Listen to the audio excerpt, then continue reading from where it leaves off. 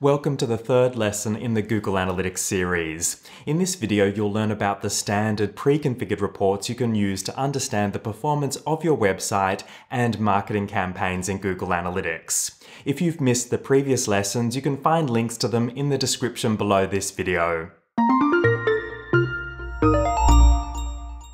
We're going to walk through some of the most important reports. Before we do, I want to mention that there are lots of reporting options, from the pre-configured reports we're about to cover to creating your own custom exploration reports. You probably won't need to use every report inside Google Analytics. The main thing is to find and use the reports that help you the most. Okay, so we're looking at the home report. As I mentioned in the first lesson, this report provides a top-level overview of your website. At the top, we can see the total number of users, conversions, events, and new users. This is for the last 28 days, but we can change this by clicking the current selection and choosing a new one. Now we can see all of the metrics are updated we can also see a trend line for the metric that is currently selected. This is showing us our user trend.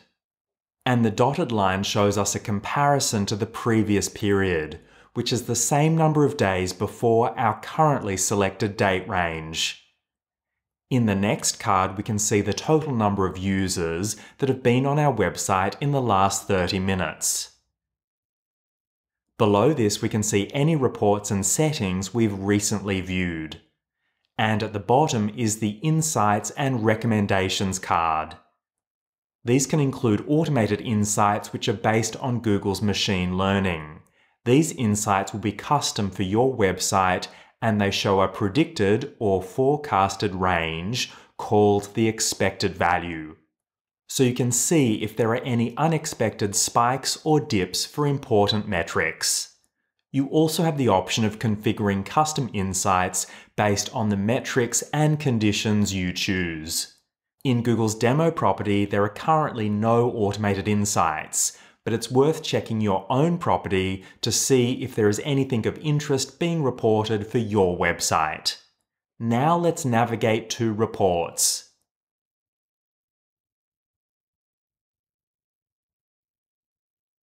We can see there are a range of different reports. These include the report snapshot, along with the real-time report, and reports for acquisition, engagement, monetization, and so on. As we covered in the first lesson, the selection you choose when creating your property controls which standard pre-configured reports will be included in the menu.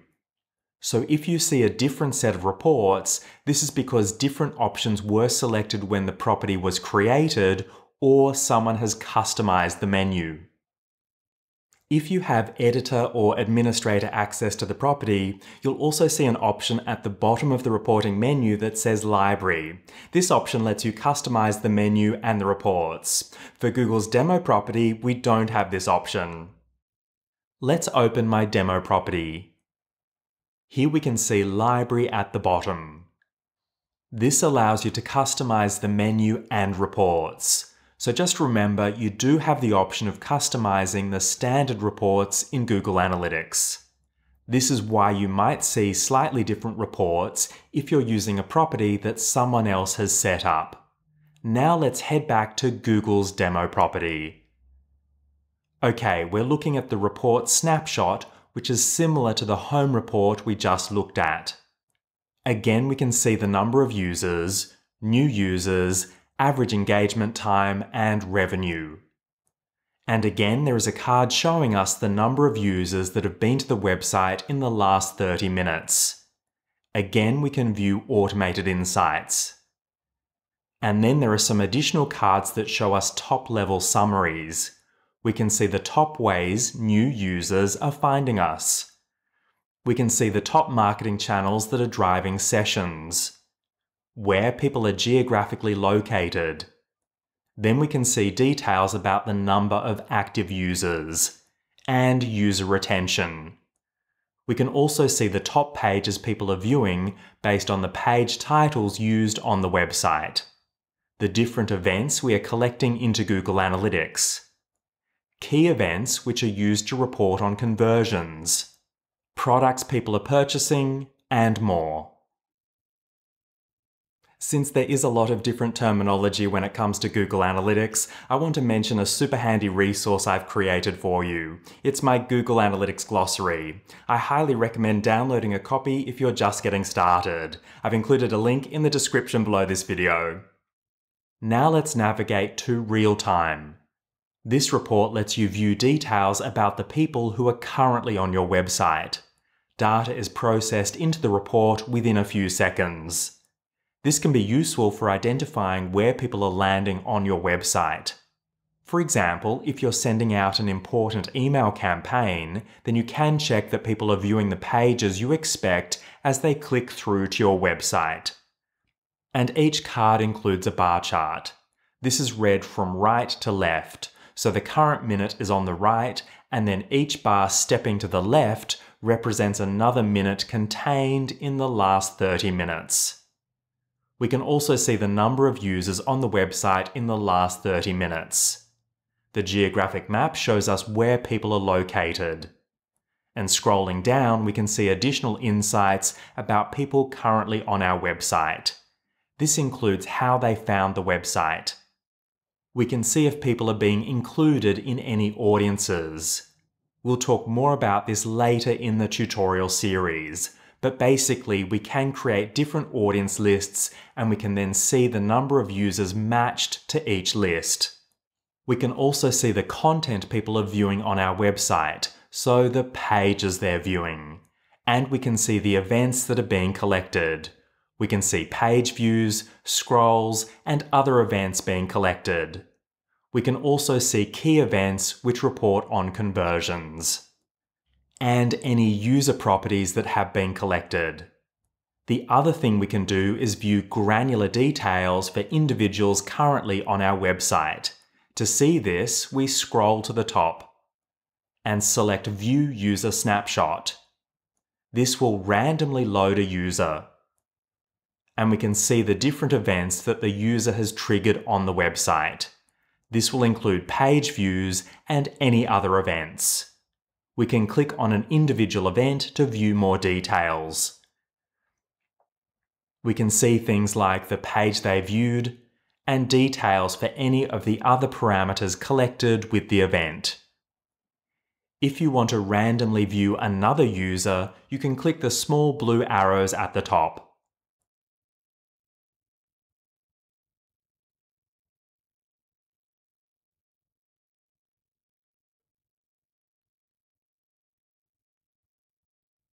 This loads another user, and again we can see the different events that have been collected. So we can view snapshots of individual users in the real-time report. And to exit the snapshot, you can navigate to another report or click Exit Snapshot on the right. Now let's select Acquisition, and then Overview. The acquisition reports are all about how people are finding the website. On the overview report, we can see similar details that we saw on the home report and the report snapshot. We can see the number of users and new users. And again, we have the real-time card on the right. Traveling down, we can then see how new users are finding the website. So we have new users by the first user primary channel group. This automatically combines the different ways people find the website into categories. We can modify what is presented in each card by selecting another dimension from the drop-down. For example, let's choose First User Medium. This now updates to show us the medium. This tells us how the message was communicated. Organic for people clicking through from the free search results on Google and other search engines referral for people clicking through from other websites, people coming from email campaigns, CPC for people clicking through from our paid ads, and more. There are also cards that show sessions by primary channel group, and for Google Ads traffic. A card showing the average lifetime value of our users, along with additional cards. You can also use the links at the bottom of the cards to view the full report. And we can also adjust the date range used for the report. Let's scroll back to the top and select the current date range. You can then choose from predefined ranges or choose your own custom date range. And you can use the compare option to compare two date ranges to see any changes. Let's enable compare and click apply. We can now see if metrics have increased or decreased in the report. Now let's select the date range again. Disable the comparison and click apply.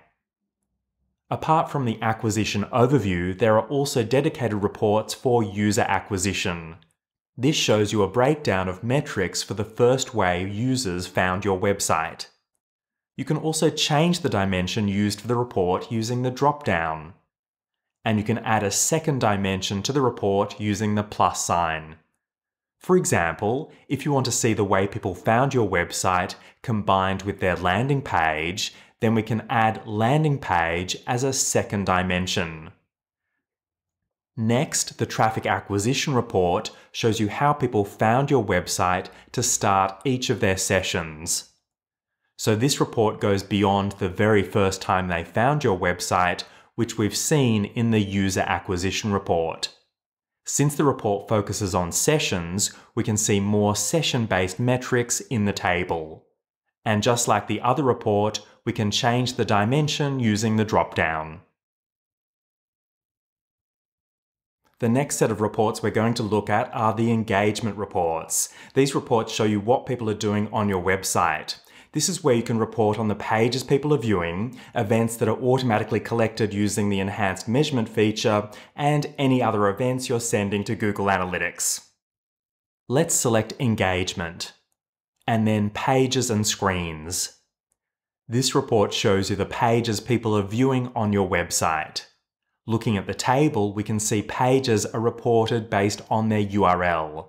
This is the page path dimension and the report is ordered by the number of views, so the number of page views by default. Apart from reporting on pages, you can also get a top-level summary with the Overview report.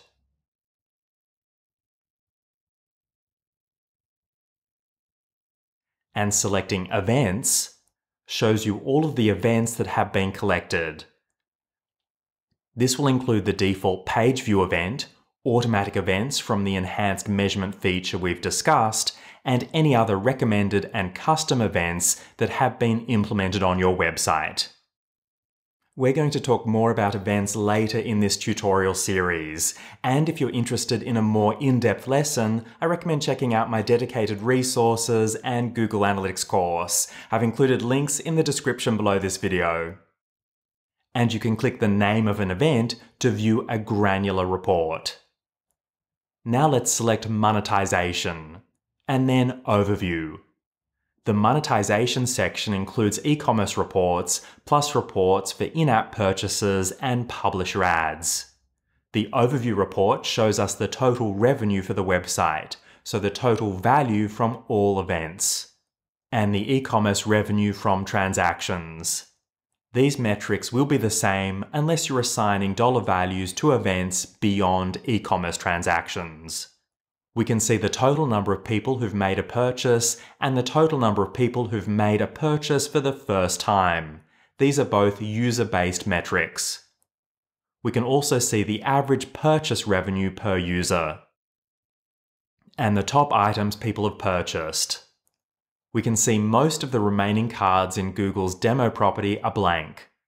This is because they've decided not to implement e-commerce tracking for item lists or coupons. And they're not tracking in-app purchases or publisher ads.